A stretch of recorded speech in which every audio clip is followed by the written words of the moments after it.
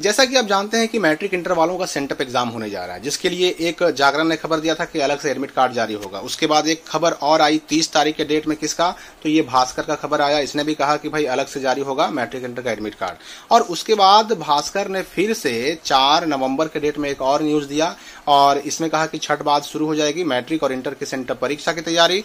और यहाँ पर देखिए इसी न्यूज़ में दैनिक भास्कर ने फिर से ये बात कहा है कि परीक्षा समिति, यानी बिहार बोर्ड जो है, पहली बार सेंटअप एग्ज़ाम के लिए एडमिट कार्ड जारी कर रहा है और वार्षिक परीक्षा जो फरवरी में होती है ना, उस एग्ज़ाम के लिए एडमिट कार्ड अलग से जारी किया जाएगा। मतलब जो सेंटअप एग्ज़ाम के लिए अलग से एडमिट कार्ड आने की बात थी, उसके लिए फिर से भास्कर ने चार नवंबर के डेट में एक न्यूज़ दिया है। मैं आपको बता दूँ कि भाई ग्यारह तारीख से, जैसे ही स्कूल कॉलेज खुलेगा छठ की छुट्टी के बाद, ग्यारह तारीख से इंटर का सेंटअप एग्ज़ाम और उन्नीस तारीख से मैट्रिक वालों का सेंटअप एग्ज़ाम शुरू हो जाएगा। कुछ सवाल है बच्चों के, जो मैं क्लियर करने वाला हूँ इस वीडियो में। पहला सवाल तो यह है कि सेंटअप एग्ज़ाम का प्रैक्टिकल होगा कि नहीं होगा? इसकी प्रैक्टिकल कॉपी जमा करनी होगी या फिर नहीं जमा करनी होगी? फिर ये कि इसमें कॉपी कैसे मिलती? है क्योंकि भाई सेंटअप एग्ज़ाम का जो आपको रूल है, मैंने पहले ही बताया है कि सेंटअप एग्ज़ाम में शामिल होना भी ज़रूरी है, पास होना भी ज़रूरी है। कुछ बच्चे बच्चों ने यह भी सवाल किया कि अगर हमारा स्कूल कॉलेज अगर सेंटअप एग्ज़ाम ले ही नहीं तो क्योंकि हमारे यहाँ मंथली एग्ज़ाम नहीं होते हैं तो सेंटअप एग्ज़ाम हमारा स्कूल लेगा कि ना लेगा, कॉलेज लेगा कि ना लेगा, और अगर नहीं लिया तो तो ऐसे केस में क्या होगा उसका भी मैं बताने वाला हूँ, क्योंकि पंद्रह लाख मैट्रिक के बच्चे हैं, तेरह लाख इंटर के बच्चे हैं, इनके भविष्य का सवाल है।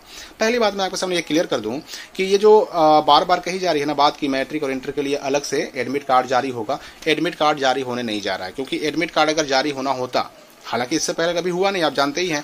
अगर एडमिट कार्ड जारी होना होता तो अब तक आ चुका होता, क्योंकि सेंटअप एग्ज़ाम में जनरली वही बच्चे शामिल होते हैं जिन्होंने मैट्रिक और इंटर का फॉर्म भर दिया है। जिन बच्चों ने एग्ज़ाम फॉर्म भर दिया मैट्रिक का भरा हो, चाहे इंटर का भरा हो, जहाँ से एग्ज़ाम फॉर्म भरा, जिस स्कूल से एग्ज़ाम फॉर्म भरा, बस उस स्कूल में जाकर के उनको सेंटअप एग्ज़ाम दे देना है।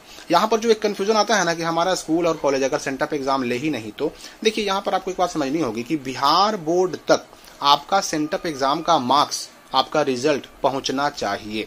अब आपका स्कूल या कॉलेज परीक्षा ले करके रिज़ल्ट भेजे या बिना परीक्षा लिए, बिना एग्ज़ाम लिए ही आपका रिज़ल्ट बना के भेज दे, उससे मतलब नहीं है। आपका रिज़ल्ट बनाकर भेज दिया आपके स्कूल ने, आपके कॉलेज ने, आपका काम हो गया।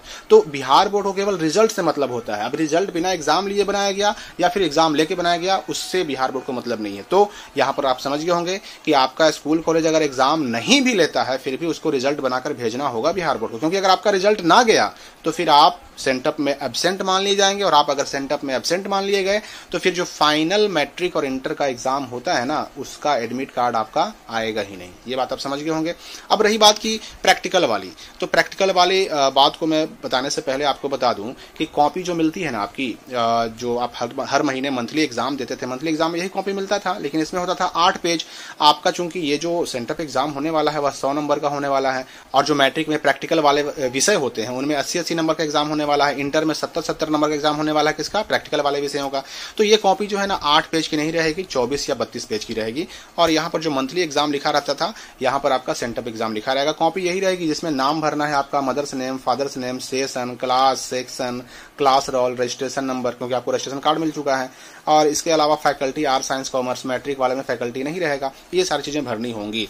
क्योंकि भाई कॉपी में इसलिए भी जानना ज़रूरी है ना, क्योंकि एबसेंट होने पर आपका रिज़ल्ट ना बनने पर आपका एडमिट कार्ड रुकने का डर रहता है। अब यहाँ पर मैं बता दूँ कि इसमें चूँकि प्रैक्टिकल वाले विषयों में अगर हम बात करें तो इंटर में सत्तर नंबर का एग्ज़ाम होगा इसमें भी और अस्सी नंबर का एग्ज़ाम होगा मैट्रिक में प्रैक्टिकल वाले विषयों का। तो प्रैक्टिकल एग्ज़ाम होगा कि नहीं? सेंटअप का प्रैक्टिकल एग्ज़ाम होगा कि नहीं होगा?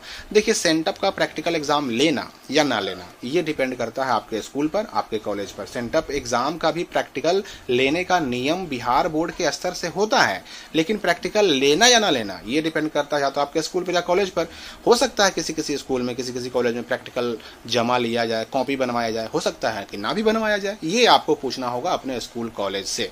तो मेरे ख्याल से आप ये बात समझ गए होंगे कि प्रैक्टिकल का जो मामला है, वो पूरी तरह डिपेंड करता है आपके स्कूल और कॉलेज पर।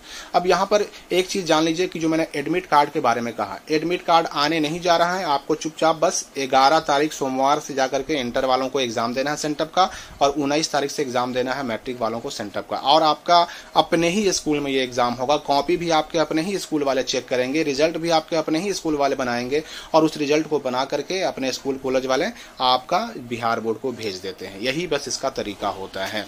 तो फ़िलहाल इस वीडियो को लेते ही। मिलते हैं हम अगले अपडेट के साथ नई वीडियो में।